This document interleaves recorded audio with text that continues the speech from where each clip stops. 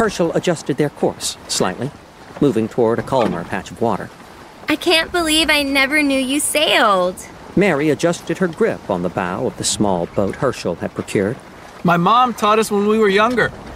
Lake Michigan was nearby, and we spent our summers out on the water. It always made me feel great, so the first week we were here, I looked up a place I could get out on the water if I needed to. And this is the first time you've used it? Second, I came out about three weeks into the semester when things were getting really stressful. After you put Roy in line, life got a lot more manageable, though, so I haven't needed it. I think I'd be out here quite a bit, need it or not. A wave knocked against the side of the boat, and Mary shifted her grip. Yeah, I thought the same. But things get busy and time slips away from you.